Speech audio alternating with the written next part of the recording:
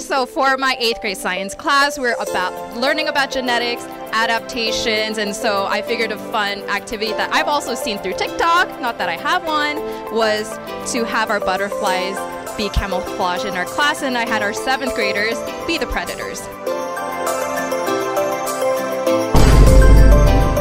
It was a lot of fun.